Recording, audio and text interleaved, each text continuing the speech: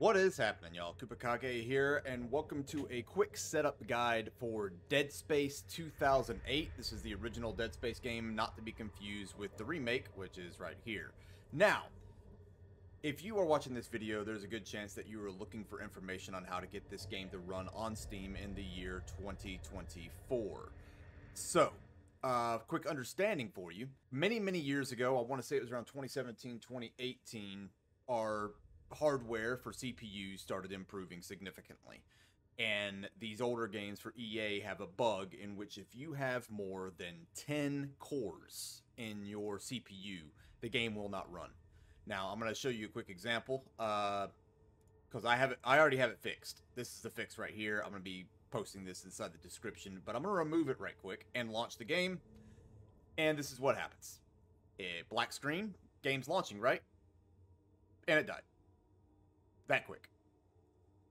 So the way you fix it, you right click the name of the game in your library, hit properties, and under selected launch options, you're going to put this exact link. The C Windows System 32 CMD slash Affinity FFF. What this does is it forces the launch to only launch with four cores enabled, as nature intended back in 2008, whenever we only had dual cores and four core processors.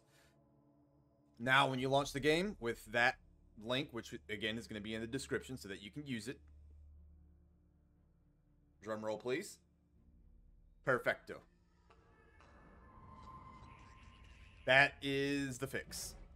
Now, there are a few other fixes to be aware of, because whenever you first launch the game, it is going to launch. What's the best way to put it? It's going to launch in a crappy resolution at like, I don't know, 800p or something. So, two main points if you really want to get this game working. Under options, visuals. Under resolution, select your resolution. I cranked it up to 1920 1080 with 240 hertz because I have a 240 hertz monitor. And make sure you turn VSync off. With VSync on, your frames will be limited to 30 FPS. So, turn it off. Everything else is fine. The game's going to launch looking beautiful. There's going to be a few other things that I'm going to recommend before you really get going. But first, just take a look at this game. This game is from 2008, and look how good it looks.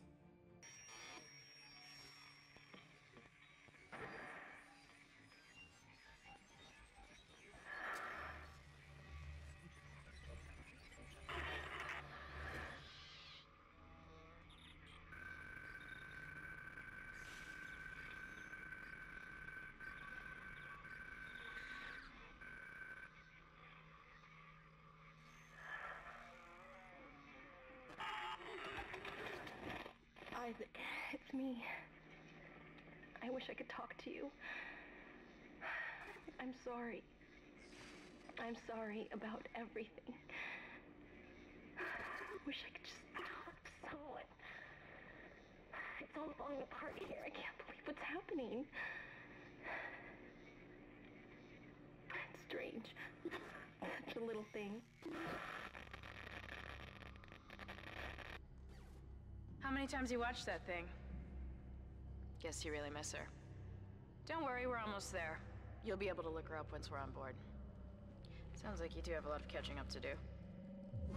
Alright, everyone, we're here. Syncing our orbit now. All this trouble over that chunk of rock. Deep space mining is a lucrative business, Ms. Daniels. Aegis 7 is a gold mine according to prospectors' reports. Cobalt, silicon, osmium, now, where is she? There she is. We have visual contact. There you have it.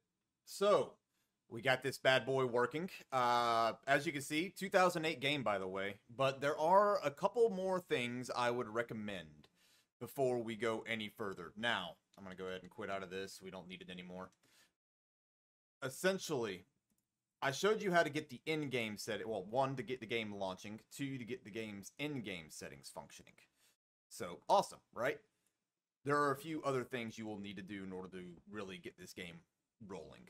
First, whether you're a NVIDIA uh, user or an AMD user, I'm not sure which you which that you are. use whatever control panel you have, find the actual program, and limit the FPS to 120. Uh, 120 is the highest cap I was able to get where the game just doesn't absolutely break. If your FPS is too high, certain doors won't open, your progression will be blocked, the game bugs out. I found 120 to be a pretty good benchmark for getting this game looking as optimal as possible. The only thing that happens that the only weird thing that happens if you have 120 FPS is uh, some of the necromorphs might shoot off into space whenever you blow their legs off. And next up, turn VSync on on your control panel. So onboard GPU VSync good, Dead Space VSync bad. Don't have Dead Space VSync on, use your hardware's VSync. Limit the FPS to 120. Put in this link that I'm going to put in the description, as I said before, and you'll be able to play this game with no issues. If you guys run into any other issues, let me know so I can continue to test. Hit me up in the comments section. Until then, have fun playing this old classic, and I'll see you all next time whenever I actually start this playthrough in the very next video on Impossible. Until then, I will see you all next time.